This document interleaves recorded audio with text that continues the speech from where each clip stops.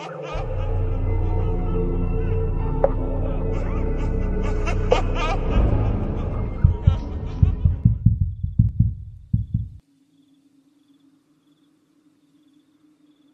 familia Tete. Se acerca la Semana Santa y en donde vivo hay bastante aire. De esos que arrancan las jacarandas y se llevan las láminas. Siempre me acuerdo de un par de historias de cuando estaba en la prepa. Yo iba a un colegio católico y estuve en movimientos juveniles. Mm, desconozco si aún lo hacen, pero cuando yo estaba ahí organizaban misiones durante Semana Santa. El objetivo era ir en Domingo de Ramos y regresar en Domingo de Resurrección. Allá teníamos varios objetivos. Convivir con las personas de comunidades que a veces no contaban sus problemas o inquietudes, jugar con los niños, ayudarles a pintar la iglesia, la escuela, la capilla, lijar, barnizar sus bancas, en fin. A ver, no íbamos con el afán de evangelizar ni nada de eso.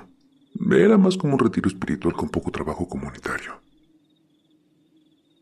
Nos repartían a todos los asistentes entre los distintos pueblos de un municipio cercano al volcán. Nos quedábamos en un cuarto anexo a la iglesia o en un salón donde daban clases. Llevábamos bolsas de dormir, comida y unos nos turnábamos para hacer las labores diarias. Fui por tres años. El primer año nos dejaron ir juntos al grupo juvenil con el que siempre estaba. En esa ocasión nos quedamos en un salón anexo a la iglesia. Algo a mencionar aquí es de que estas personas en su mayoría se dedicaban al cultivo. O sea, se despiertan muy temprano y se duermen también bastante temprano para hacer rendir su día. Algunos tienen caballos, mulas, burros, pero los guardan temprano para que descansen también. Cuando anochece, hay poca actividad en los pueblos, sobre todo en Semana Santa. Ya verán por qué. Era miércoles y habíamos terminado las labores que empezamos desde el lunes. La gente se metió a sus casas apenas cayó el sol y nos subimos al techo de la iglesia para ver las estrellas. ¡Wow! El guía nos contó que en esos pueblos llega el mal aire. Se escucha un caballo galopar por los pueblos en Viernes Santo, acompañado por el aire que a veces viene un poco violento. Quienes han tenido la osadía de asomarse ven un caballo completamente negro, muy grande y con los ojos rojos. Galopa en la noche y se escucha que relincha y resopla como con desdén. A veces se acerca a las casas que están hechas como de tablones de madera algunas tienen pequeñas rendijas entre estos. Él se acerca a esas rendijas y resopla. Además, se puede ver por las rendijas al animal. Ya que ha hecho su recorrido por el pueblo, va a la iglesia y azota las puertas de la misma, como si quisiera tirarlas. Las creencias de la gente dicen que se trata del mismísimo Satanás, que va por la devoción de la gente a burlarse del luto que guardan. Yo en ese momento estuve un poco escéptica. Al ver las estrellas, algunas se movían y estábamos seguros de que eran ovnis. ¿ah? Pero teníamos dudas porque estuvimos todo el día en el sol terminando de limpiar y pintar. Pensábamos que era el barniz que nos hizo de las suyas. No le dimos mucha importancia ni a la historia ni a los ovnis. ¿ah? El Viernes Santo se hizo el Via Crucis, desde donde empieza el pueblo hasta la iglesia, y se continúa en general como en cualquier otro lugar que se conmemore ese día. Posteriormente se recomienda a la gente que vaya a sus hogares a reflexionar y a guardar luto. Cuando cayó la noche, mis compañeros empezaron a bromear con eso del mal aire. Y uno de los guías nos dijo que no bromeáramos con eso, porque él fue testigo del mal aire en otro pueblo, en donde la gente dice que se aparece un caballo o un perro negro, y al día siguiente pueden ver las huellas en las puertas pero no pueden ver al animal. Digo que no vio al caballo, pero que sí lo escuchó. Algunos pensamos que quería asustarnos para que guardáramos silencio y no escuchar el escándalo que traíamos en las casas más cercanas.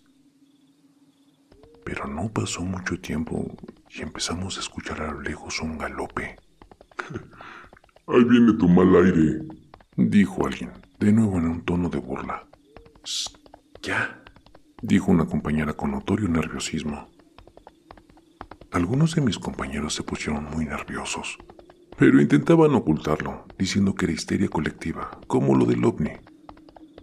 Ella se molestó, les dijo que pararan y que no se burlaran. Escucha, se está acercando, dijo otra. El galope se escuchaba cada vez más cerca y empezaba a sentirse un ambiente viciado. Nos fuimos recorriendo hacia el centro de la habitación, que les recuerdo que estaba anexa a la iglesia.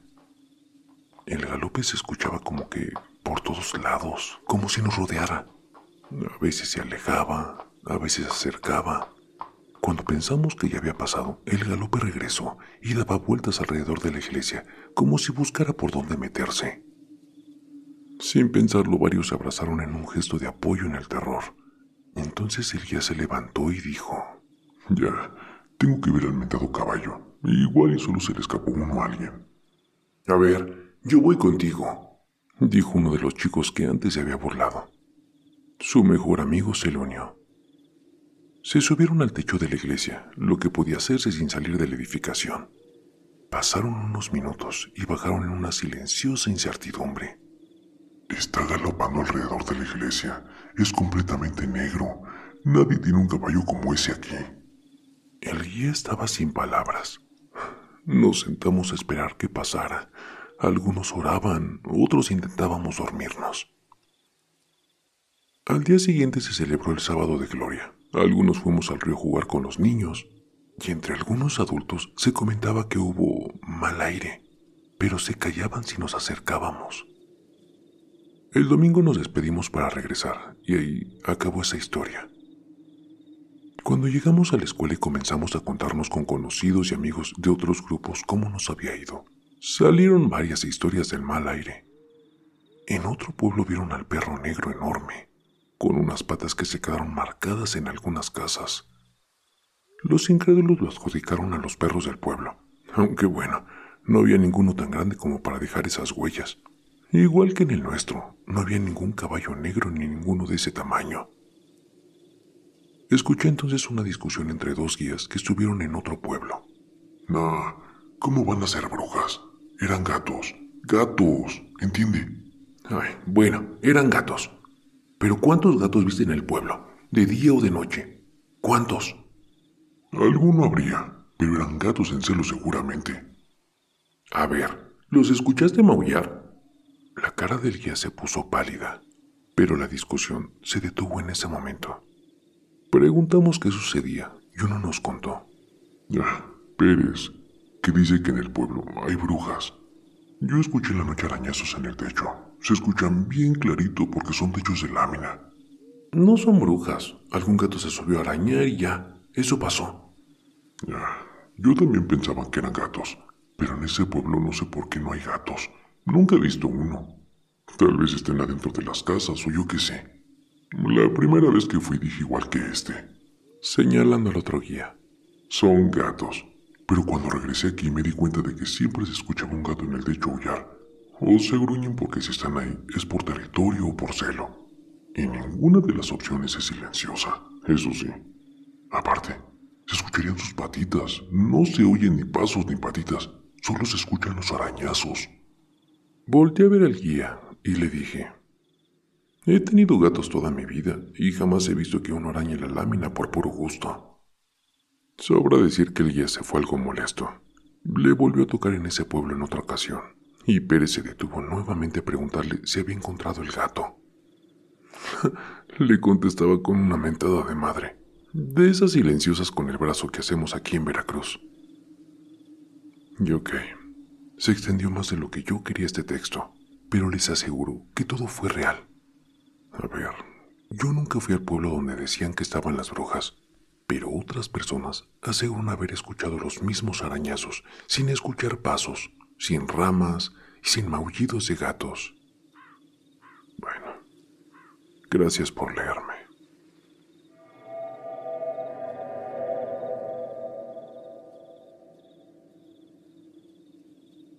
Hola familia Tete, buenas noches.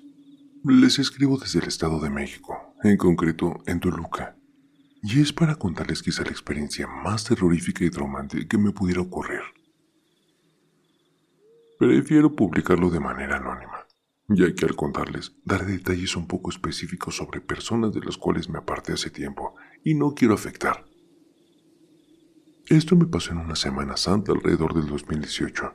En esa época tenía una relación con una chica que vivía en un pueblo cercano a Toluca, cerca de la caseta del Dorado. Se encuentra en la carretera Toluca-Ixtlahuaca. Dicho sea de paso, la gente me advirtió sobre esa relación. A ver, yo terminé con mi novia de cinco años al mes de conocer a la chica. Y bueno, como dicen, lo que empieza mal, termina mal. Esa relación me llevó a tener una fuerte dependencia hacia ella. Al cabo de un año me hizo cambiar en todo, actitud, amistades, es más, incluso con mi familia, lo cual me trajo muchos problemas. Técnicamente nadie de mi familia me hablaba por estar en aquella relación. Y bueno, ahora que ya saben el contexto de todo, pues aquí va mi historia. Era Semana Santa, yo estaba de vacaciones y mi novia en ese entonces me invitó a pasar un jueves santo en su pueblo.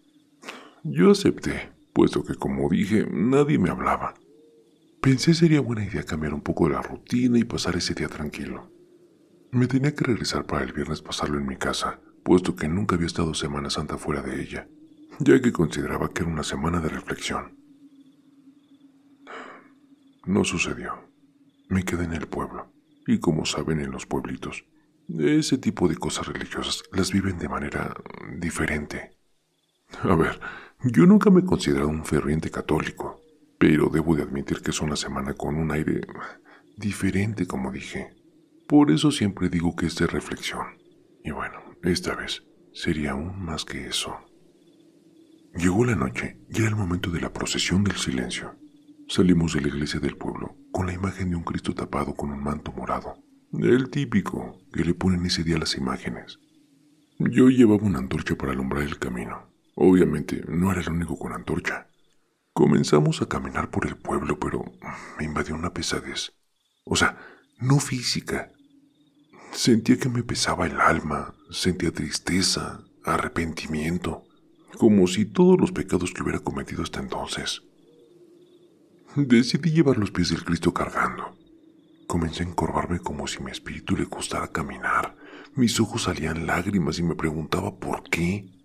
Nada específico, solo por qué. Así fue todo el recorrido y me sentí casi imposible de recuperar la postura erguida que en su momento me caracterizaba. Llegando a la casa de mi exnovia, me preguntó qué es lo que tenía. Y solo tenía a decirle que me sentía triste, como si no debiera de estar ahí. Es gracioso, la verdad, porque no soy muy fácil de asustar. Aunque en ese momento me sentía demasiado vulnerable, no sé si recuerdan la película de La Pasión de Cristo, la escena donde el demonio grita cuando Jesús muere. ¿Recuerdan? Bueno, en sueños, eso vi. Después me quedé dormido en la sala, puesto que ahí me había preparado para dormir. Pero esa noche escuché ruidos y en medio de las sombras logré ver una silueta idéntica a mi novia. Estaba parada fuera del cuarto donde ella estaba durmiendo con su prima de aproximadamente unos seis años. Eran las dos de la mañana. Intenté hablarle varias veces, pero no hubo respuesta. Entró a la habitación. Corrí tras de ella porque pensé que se sentía mal o era sonámbula. La verdad solo corrí para ver que estuviera bien. Mi sorpresa fue que al entrar la vi acostada, abrazada de su prima. Era imposible que se acostara tan rápido sin despertar a su primita. Le hablé, la moví y no se despertó. Ni ella ni la prima. Me salí, me fui directo al sillón. Estaba ya bastante nervioso como para dormir. Intenté estar en el celular, pero se escuchaban ruidos dentro de la cocina. Fui a ver, pero no había nada. Regresé a la sala y de nuevo aquella silueta. Esa silueta que aún después de años, cada vez que sueño con ese día, me hace que me den escalofríos. Se metió al cuarto y volví a ir, pero nada. Pensé que estaba demasiado cansado. Estaba imaginando todo. Volví al sillón y antes de tomar mi celular, Vi que tres veladoras que estaban dejando prendidas frente a las imágenes tapadas con una tela morada comenzaron a apagarse. No como si le soplaran. Fue lentamente como si el oxígeno se terminara poco a poco.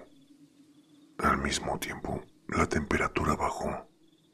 Los perros comenzaron a ladrar y aullar como si los lastimaran. Mi sangre se eleva al mismo tiempo que girando mi cabeza vi tres sombras. Una con la silueta de mi novia al lado del marco de la puerta. Otra silueta más que abarcaba casi toda la cocina. Y la última.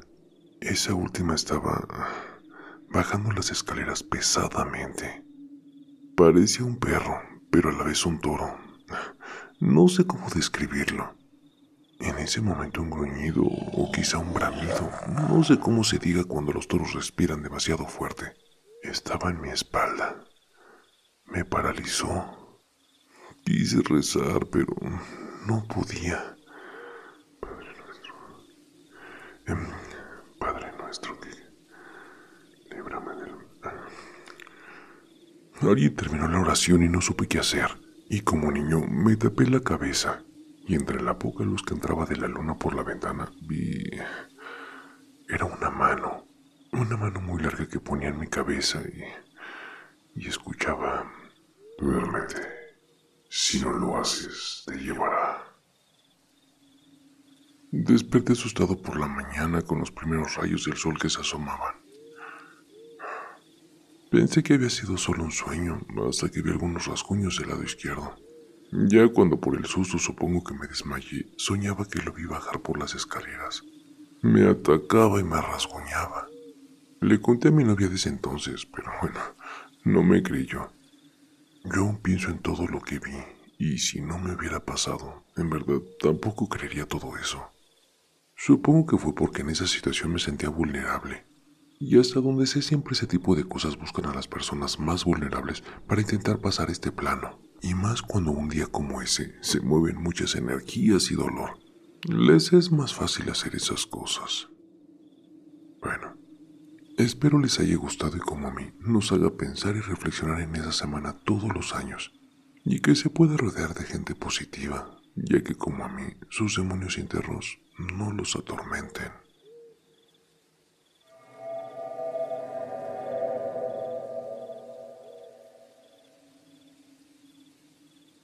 Hola, buenas noches familia TDT. Cerca de donde vivo hay un poblado que como en muchos celebran la Biocruces de Semana Santa. Es un poblado pequeño. Y bueno, no daré muchos detalles por cuestiones de privacidad. En dicho poblado existe una leyenda que todos los Viernes Santos sale un ser a quien los pobladores le llaman la Dolorosa. Este ser existe desde que se fundó el poblado, pero la gente antigua cree que ronda esas tierras desde mucho antes. La anécdota que yo viví va así. Yo tenía en ese entonces unos 12 años de edad. Mi familia y yo no somos originarios del poblado, pero mis papás consiguieron unas tierras allá. Y seguido viajábamos, pues comenzaron a sembrar chile, maíz, plátano. Nosotros somos católicos y desde el principio mis papás se acercaron a la pequeña capilla que tenían. Era bastante pequeña, pero eso sí, muy bonita. El sacerdote que atendía ya ya era un señor bastante grande y estaban por cambiarlo. Dicen que estaba por llegar uno más joven. Se acercaba la Semana Santa y todos los pobladores católicos se comenzaban a preparar para la festividad.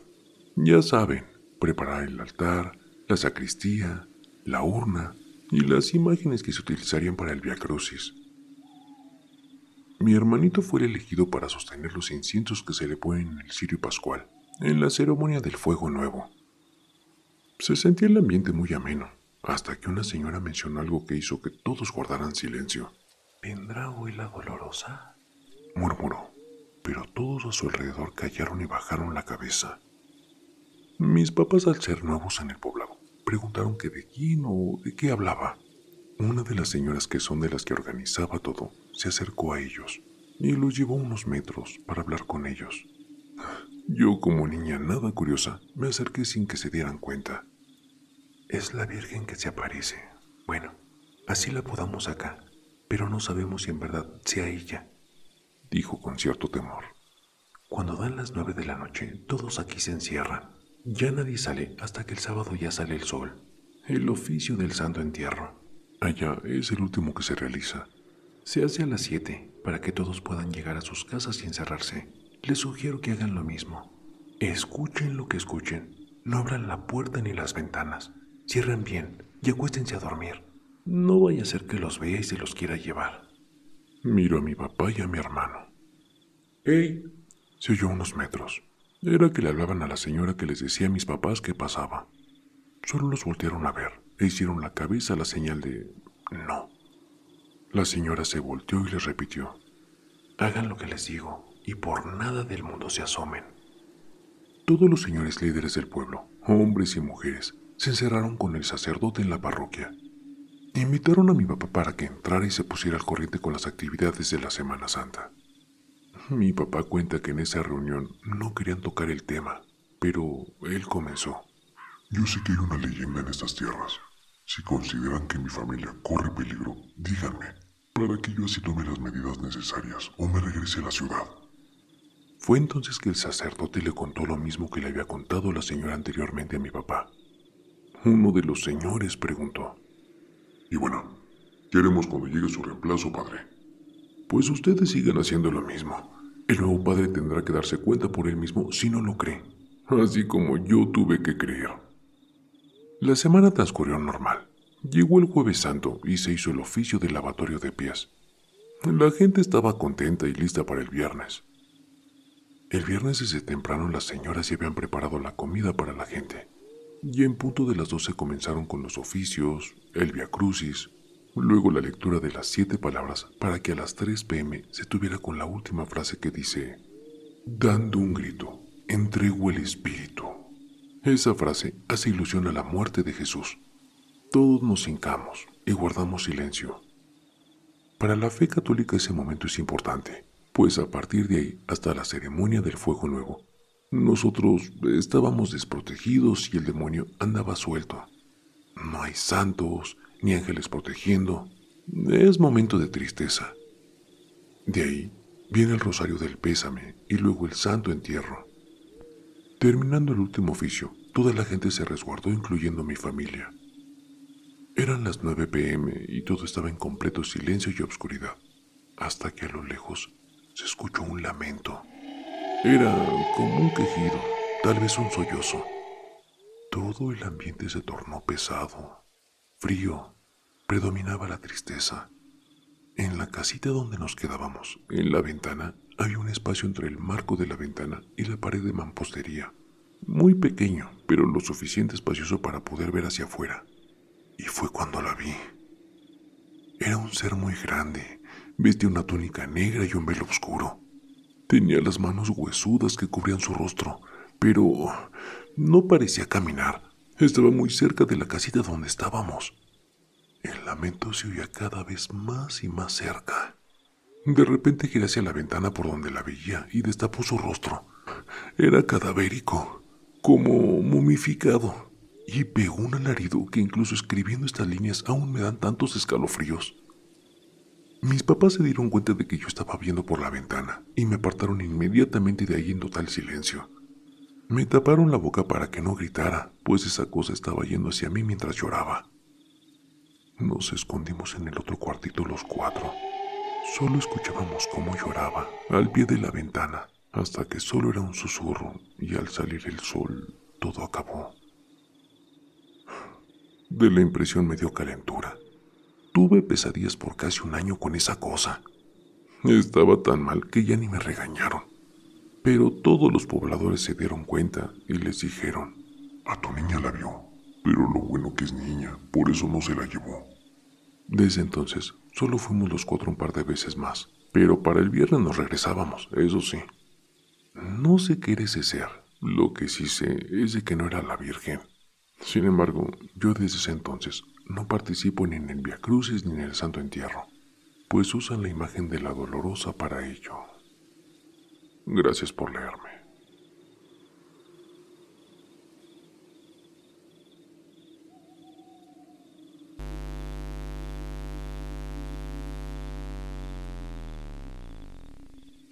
El terror está más cerca de lo que crees. Y no lo digo yo, lo dicen ellos. Escucha bien Raúl, esto es para ti, con tu canal de terapia de terror, sí. Así es, relatos siniestros, historias escalofriantes, un podcast que te mantiene al fin lo emocionante. Pesadilla de terror, cada historia me atrapa. Raúl en YouTube llevándonos a otra escapa. Me enloqueces con tus cuentos de miedo, un suspenso intenso que me pone los pelos de punta.